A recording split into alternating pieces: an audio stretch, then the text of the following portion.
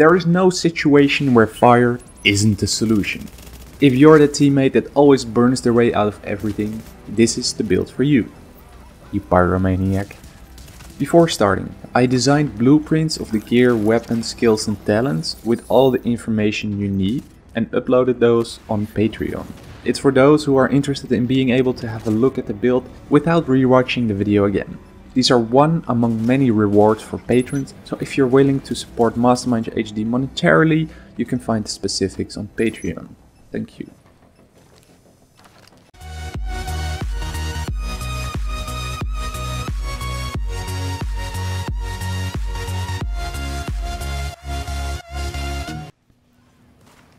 The core part of any build is the gear. From the chest piece to the holster we want to equip the classified Firecrest, resulting in a 6 piece bonus. Over on the right of the screen we can see the bonus specifics, which essentially revolve around increasing the flame turret range damage and weapon damage in general to targets on fire. The two-piece, obviously the least interesting, improves the amount of incendiary grenades we have by 100% resulting in a total of 6 incendiary grenades. The 3 piece is where it starts to get interesting. It increases the range of the flame turret by 50% and the damage by 30%. The 4 piece increases the weapon damage by 15% against targets that are on fire, which is interesting combined with the weapon talent we'll later use. But it gets better.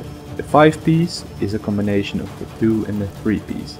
And it increases the incendiary grenade capacity by another one, bringing it to a total of 7 incendiary grenades. As well as the flame turret range, it is increased by 15% and its damage by another 10. Finally, the 6 piece makes things a little bit more complicated in choosing which way you want to go. It brings with it the improved Firecrest talent and that brings with it 4 bonuses. 1. It increases the chance of your bullets setting enemies on fire by 2%. The targets we set aflame can cause a fiery explosion when killed by our bullets once in every 10 seconds. If, however, NPCs are set on fire by our turret, they will burn 25% longer for every 2000 electronics, which can be brought up to 125% if you manage to reach 10,000 electronics. And the fourth and final bonus immunizes us from our own fire explosions. Every piece of gear also has main stats, armor, major and minor attributes, as well as slots for prototype and performance mods. The main stats we want to spec into are electronics on every piece, optimize our rolls until they're 1401 to min-max our build of course. The exception here is the holster, which can roll 1401 on every main stat. The armor rolls are different per piece of gear, however, on screen you can see the maximum roll for each gear piece. The major attributes are different per piece of gear as well, but there's a pattern in which ones we'll select for our build. Focusing on increasing the effectiveness of the turret is core, meaning we'll focus on skill power and skill haste, but where we can't get those we'll select health, assault rifle damage and enemy armor damage. The minor attributes we're rolling are damage to elites, up to 12%. Other than that we want to select burn resistance, disrupt resistance, blind deaf resistance, all up to 33%, or ammo capacity where we can roll the others. The prototype mods selected are electronic mods and there are two ways we can go with this. Some people prefer selecting superior mods. They lower the amount of electronics we can roll to a maximum of 202 instead of 267, which will hurt your skill power, but allows us to roll up to 5 times 4% damage to elites, which increases the effectivity of the turret by more than electronics mods could, which increases the effectivity of the turret by more than the electronic mods could. However, other people, like myself, want more electronics to increase skill power with high-end mods. The reason for that is because it allows us to stack electronics up to 10,000, which adds 125 burn duration for NPCs and al allows us to better use one of the weapon talents we'll get into in a minute. Also, if we were interested in PvP with this build, this would be more useful. For those people, we want to equip electronic mods that roll 267 and this should have the skill haste attribute which rolls up to 3%. The performance mods of which we are allowed to equip 4 remain the same nonetheless and all increase the turret damage by 4%. And the weapons are equally as important as the gear. Complement the right one with our gear set and we're bound to be more efficient and more effective. The primary weapon selected is the Urban MDR. The exotic assault rifle has a high base damage, increased headshot damage at 95% as opposed to the regular 75%, and is in general a great weapon. However, where this weapon shines is in its exotic weapon talent. Distracted, as it's called, increases its weapon damage by 18% when the target is affected by a status effect. And let it just be the case that we're running a build that focuses on constantly putting your enemies under a status effect. We don't have to worry about the requirements, every urban MDR rolls this talent. The other two supplement our weapon and turret effectivity. The second weapon talent is Talented, which increases our skill power by 15% for 20 seconds upon killing a target. The effect does not stack and killing a new target does refresh the timer, but it increases the effectivity of the turret quite a lot. The third and final talent on this weapon is Competent, which increases your weapon damage by 10% for 15 seconds upon using a skill, and that's perfect for a skill build. The secondary weapon is debatable. Some people prefer a submachine gun for closer ranges, but we're going for the lightweight M4 because with its high rate of fire and overall good damage, it's great for closer ranges. Plus it benefits from the assault rifle damage we already have on the gloves. The first two talents on the lightweight M4 are similar to the last two on the Urban MDR, talented and competent. Thirdly, selecting Determined decreases skill cooldowns by 7.5% upon getting a kill, which is pretty nice for a skill build. The mods are similar for both weapons. The optic of choice is the VX1 scope with its increased headshot damage. The minor attributes on the mod should be critical hit chance and accuracy. In the magazine slot we'll equip extended magazine naturally. It increases the magazine size by an insane amount and other than that we're looking for critical hit chance and rate of fire.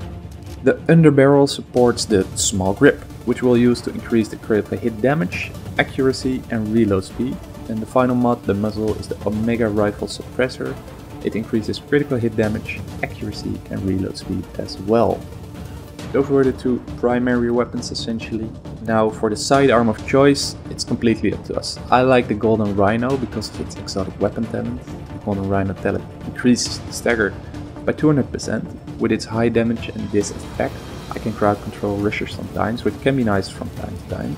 However, it's up to you which one you want to choose. The other weapon talent I run on this is Expert. Every sidearm has that, increasing the weapon damage by 100% when the target is lower than 30% health, which is nice for finishing people off essentially. Its mods are the reflex sight with critical hit chance, critical hit damage and stability, as well as a small laser pointer with accuracy, critical hit damage and reload speed. Still, don't look into this too much, because 99% of the time we won't even use it. Skills are important for any build, but especially for skill power heavy builds like our own. Don't sleep on talents either, they can make quite a difference.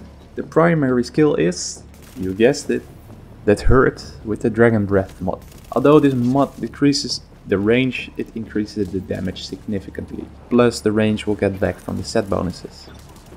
The secondary skills depends on if we're playing solo or not. This build is better in a team that has a dedicated and classified reclaimer medic. If we don't have that, the support station is the solution for us. Due to the high skill power, it performs quite well, although not as great as an optimized classified reclaimer would. Will mostly be stationary, increasing its efficiency even more. But for the intended use of the build, we'll go with the Seeker Mine with the Airburst mod. A lethal skill that benefits heavily from a skill power build. The Airburst adds an incendiary effect over a larger area, effectively adding another way to set our enemies alight. The signature skill is simple, the tactical link. A raw damage increase is just what we need in clutch situations like fights with named enemies or other players. Use this wisely because if done correctly you can change the way a fight turns out. That brings us to the talents. Like I said, these can increase the build more than one would think. We're selecting Critical Save, Wildfire, Death by Proxy and Tech Support. Critical Save decreases incoming damage by 20% for 10 seconds when using a medkit during low health. Wildfire triggers a 30% chance to apply the burn effect to targets within 10 meters. If we burn a target, this is perfect for this build. Death by proxy increases our skill power by 20% for 30 seconds when killing a hostile. And the last one, tech support, extends the duration of any skill by 10% if you get a kill while it's active. So you put your turret down, get a kill, and it's 10% more duration. These are talents that revolve heavily on skill power and in turn increase our efficiency a lot. Gear, weapons, skills and talents make the build complete. I appreciate you taking the time out of your day to watch this content. If you made it this far, consider leaving a rating, good or bad. It provides feedback and helps us showing up in the YouTube algorithm. Comment down below with your suggestions on how to build a classified Firecrest. How would you build it? Before ending the video, here's a quick reminder for those interested in being able to have a look at the build without rewatching a video every time. I designed blueprints for the weapon, gear, skills and talent. They're available on Patreon among other rewards for those who are willing to support us monetarily, see it as an extra service. The specifics can be found on Patreon. Other than that, burn some enemies, blaze through them and light up Manhattan as if it's Christmas again. That'll do it. Peace out.